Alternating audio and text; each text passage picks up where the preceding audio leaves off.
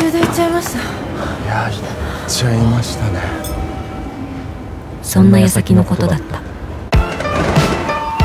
友達だって思ってるのかな？だんだん焦ってきて。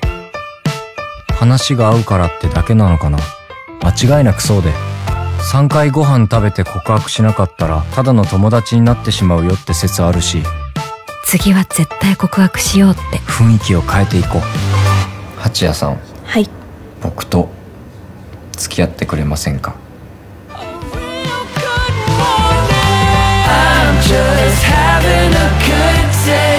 信号はなかなか変わらなかった。押しボタン式だった。何かが始まる予感がして心臓が鳴った